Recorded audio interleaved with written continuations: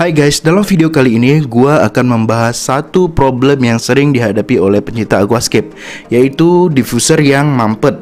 Hal ini terjadi jika diffuser kalian sudah lama dipakai dan atau sudah lama didiamkan karena penyebabnya adalah algae yang menempel di permukaan diffuser.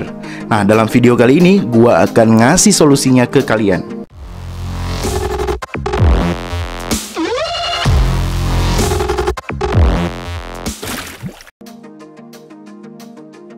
Oke guys, seperti yang gue bilang di awal video Bahwa dalam video kali ini kita akan membahas masalah diffuser yang sering mampet Yaitu penyebabnya biasanya algae yang menempel di permukaan. Hal ini terjadi pada diffuser yang sudah lama dipakai atau sudah lama didiamkan. Ada beberapa solusi guys. Di antaranya merendamnya dengan cairan pemutih selama 24 jam Atau menggosok permukaannya dengan amplas atau juga dengan cairan citric acid seperti ini guys. Dan cara yang terakhir seperti yang gue lakukan sekarang adalah dengan cara membuat keramik baru untuk diffuser kalian yang mampet. Dan hal ini jika solusi yang tadi gue bilang tidak mampu menyelesaikan problem mampetnya diffuser kalian. Jadi ada opsi lain yaitu membuatnya dengan keramik yaitu menggunakan keramik yang biasa dipakai untuk lantai yang berwarna coklat seperti ini guys keramiknya. Nah, setelah kalian potong dengan mata bor khusus mata bor yang bulat, sekarang adalah tahap di mana kita harus membuang permukaan keramik yang tidak bisa ditembus oleh gas dengan cara di gerinda seperti ini. Jika kalian tidak punya alat gerinda seperti ini, kalian bisa menggunakan atau memanfaatkan batu asah guys. Lakukan hal ini hingga seluruh permukaannya bersih dari keramik.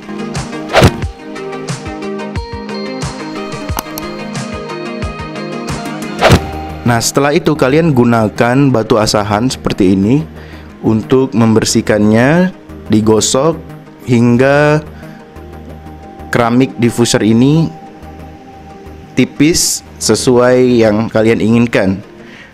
Pada video kali ini gue menggunakan batu asahan untuk menipiskan dan menghaluskan permukaannya hingga keramik ini mencapai ketebalan sekitar 6 mm guys. Nah, yang gue kasih lihat di sini sekarang masih cukup tebal. Kalian terus lakukan pengasahan untuk menipiskannya. Nah, di sini gue akan mencoba memasangnya. Kira-kira seperti ini nantinya akan kita pasang dan lakukan penipisan lagi hingga setebal kurang lebih 6 mm guys. Oke guys, kita langsung masuk ke proses pembersihan keramik ini. Karena kita akan menggantinya, maka kita harus membersihkan bagian ini. Dan kalian bisa lihat ini di dalam juga kotor, nantinya juga akan kita bersihkan.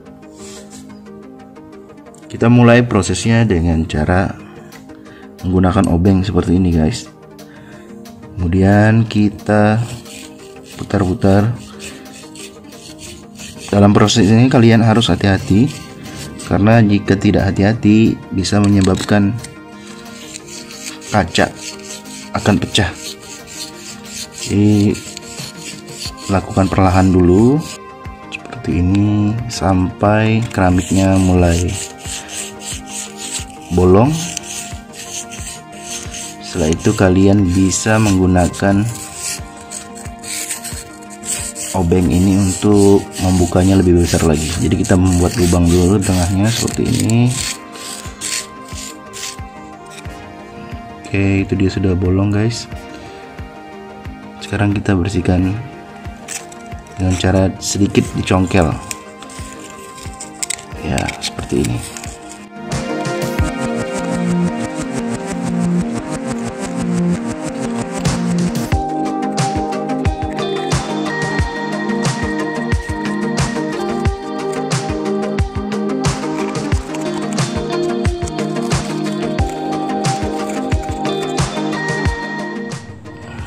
Oke ini udah selesai guys. Kalian bisa lihat nih udah bersih. Tapi memang ada bagian di sini yang tidak bisa dibersihkan secara sempurna. Nggak masalah. Nah sekarang tinggal kita membersihkan bagian dalamnya yang berkerak dengan citric acid. Oh iya guys jangan lupa. Kalau kalian membersihkan ini jangan memegangnya seperti ini. Tapi pegang di bagian sini. Karena jika kalian membersihkan dengan cara dipegang di sini ini akan menyebabkan bagian sini patah. Seperti ini contohnya. Patah. Oke. Ini karena tadi gua salah pegang. Gua memegang bagian sini. Beruntung gue punya yang lain. Jadi bisa gue gunakan untuk sebagai contoh di video ini. Nah kita akan langsung masuk ke proses membersihkan bagian dalamnya dari kerak-kerak yang menempel karena ini diffuser bekas. Jadi harus kita bersihkan. Yaitu dengan cara kita menggunakan wadah seperti ini. Kemudian kita isi dengan air. Kira-kira bisa merendam seperti ini. Sedikit lagi guys oke itu diffusernya sudah terendam. Kemudian kita akan memasukkan citric acid ke dalam sini yaitu sebagai pembersihnya. Nah ini dia citric acidnya.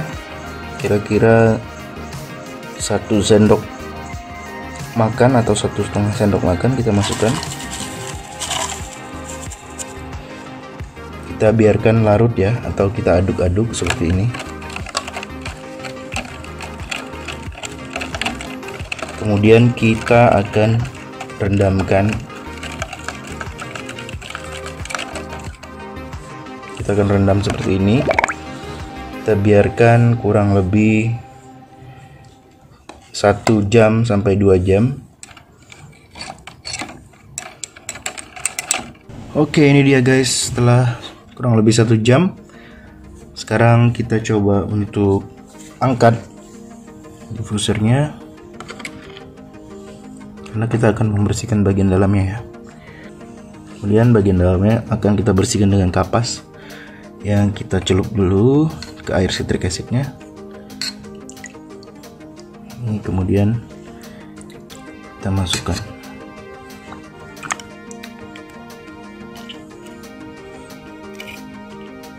Oke. Kotorannya lebih mudah rontok ya dengan citric acid ini jadi kerak-kerak yang ada di dalamnya bisa bersih. Oke cukup. Ini udah bersih ya. Kita cuci dengan air bersih.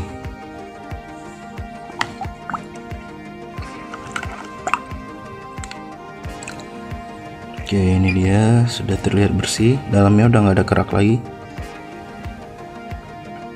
Nah kita bisa melakukan sekarang yang namanya diasah.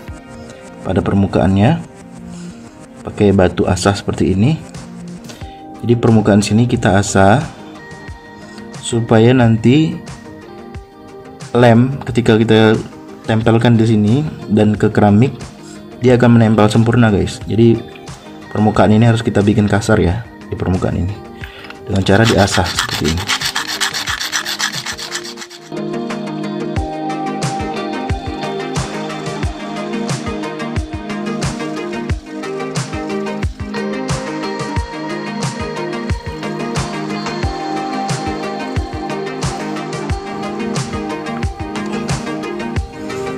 Oke sudah cukup guys. Permukaannya udah kalau dirasakan pakai jari seperti ini sudah kasar. Dan itu udah cukup bagus untuk menempelkan lem nantinya. Dan fungsi lain dari mengasah ini juga memastikan bahwa permukaan ini rata. Jadi begitu nanti kita tempelkan keramiknya keramiknya akan menempel sempurna. Seperti ini ya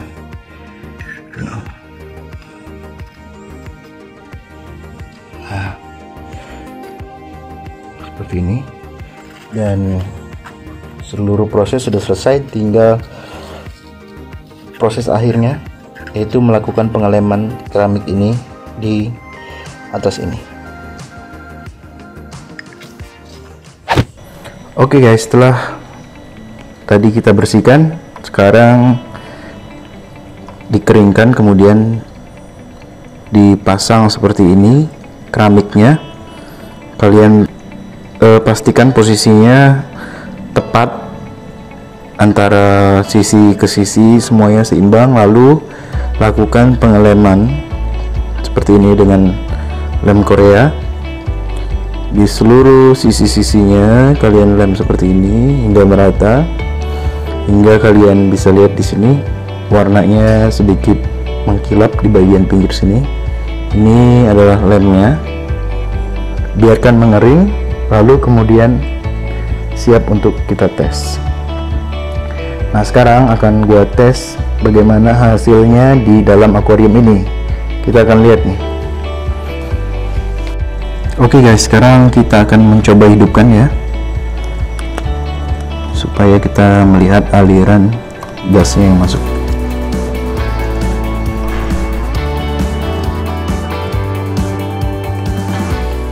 boom boom kalian bisa lihat tuh guys. Luar biasa.